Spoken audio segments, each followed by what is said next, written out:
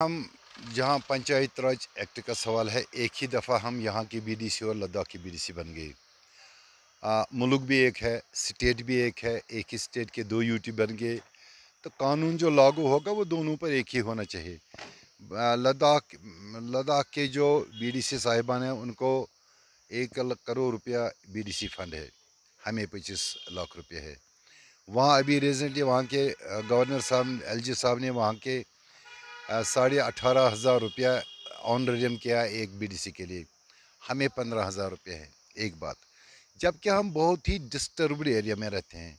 देखिए, पिछले दो साल से हम होटलों में बंद है। हफ़्ते में एक दफ़ा गाड़ी या मुश्किल से दो दफ़ा गाड़ी आती है। हम लोगों के पास पहुँच नहीं सकते न लोग हमारे पास पहुँच सकते हैं। ये ग्रीवियंस नहीं है, निवेदन है। गवर्नमेंट ऑफ़ इंडिया से, अपने एलजी साहब से। आप पावरफुल एलजी साहब है। जम्मू कश्मीर की नुमाइंदगी करते हो। जब लद्दाख के एलजी साहब, लद्दाख के लोगों के लिए, लद्दाख के बीडीसी के लिए इतनी रियायत दे सकते हैं तो ऑफ़ क्यों नहीं? एक तो हम, हमको लोगों के पास पहुँचने दीजिए। या हमारी प्राइवेट गाड़ियों में जिस तरह से हम चाहें, उसी तरह से हम लोगों के साथ उठें, बैठे, लोगों के मसाइल आप तक पहुँचाएँ गवर्नमेंट तक पहुँचाएँ। देखिए हम मीडिएटर है। लोगों के और गवर्नमेंट के बीच में एक नुमाइंदा मीडिएटर होता है।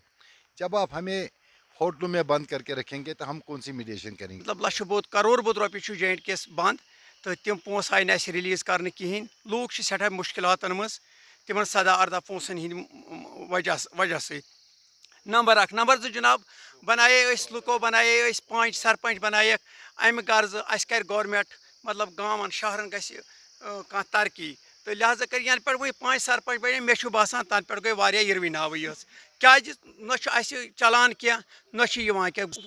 बी डी सोप बी डी सी नश यून या डी डी सी नश यून मतलब अख प्रॉब्लम गसान तम थमत बंद गो तो गो करो तो करो चूँकि जहाँ तक UT of Jammu and Kashmir का ताल्लुक है, यहाँ हालात ख़राब रहते हैं और चूँकि इलेक्शन प्रोसेस में हमें जो एमएलएस और एम का जो अनटाइड ग्रांट्स मिलते हैं उनसे इस वक्त यूटी जो है हमारी वो महरूम है। आ, मैं अपील करना चाहता हूँ अपने एलजी लेफ्टिनेंट गवर्नर साहब से कि जम्मू कश्मीर के बीडीसीज को इसी तरह से एट पार ऑनरेरियम दिया जाए और इसके साथ साथ जो सीडीएस ग्रांट्स हैं उसको बढ़ा दिया जाए।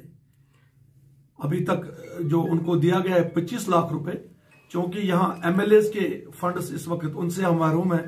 एमएलसी फंड से हम महरूम है।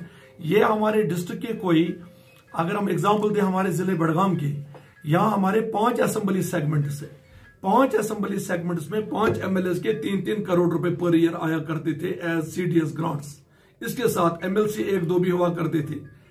तो मेन जुमला ये कोई बीस करोड़ रुपए बनता था सालाना वो ग्रांट जो वक्तन फवक्तन मजबूरी के वक्त हमारे अवामी नुमाइंदे लोगों को दिया करते थे। और इस वक्त चूँकि थ्री टायर जो पंचायती राज सिस्टम है हमारा, वो मुकम्मल हो चुका है तो इस वक्त हमारे किसी के पास कोई अनटाइड ग्रांट्स नहीं है। इसके अलावा जो यहाँ एकोमोडेशन की प्रॉब्लम है जिसकी वजह से हम ज़्यादा जूझ रहे हैं कि लोगों को ट्रांसपोर्ट फैसिलिटी नहीं है, ताकि वो एज ए रिप्रेजेंटेटिव अपनी कॉन्स्टिट्यूंसीज में जाके लोगों की बात सुने और सरकार तक पहुँचाए।